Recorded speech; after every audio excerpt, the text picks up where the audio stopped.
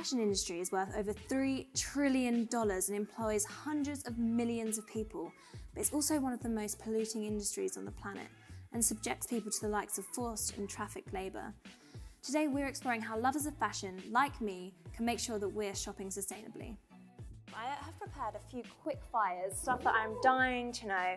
So, romantic night in or girls' night out? Romantic night. Yes. Um, oyster, chocolate and wine or Five Guys and Pepsi? Oyster chocolate and wine. Yeah. Yeah.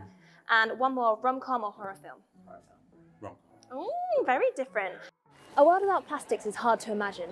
They're in everything from our clothes to our cosmetics to things you wouldn't expect like chewing gum and tea bags.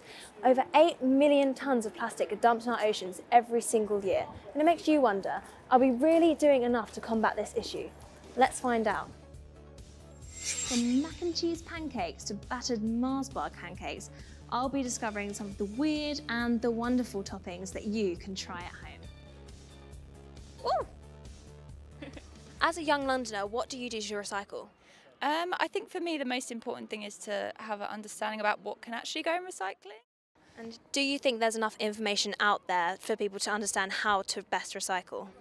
Um, I think it's okay, but there should be more. Like obviously there is. Last week saw the biggest night in the British music industry. Yes, the Brit Awards. Lewis Capaldi was the evening's biggest winner, taking home two trophies for Best New Artist and Best Single, on a night filled with tears, cheers, and more dancers than the finale of Grease.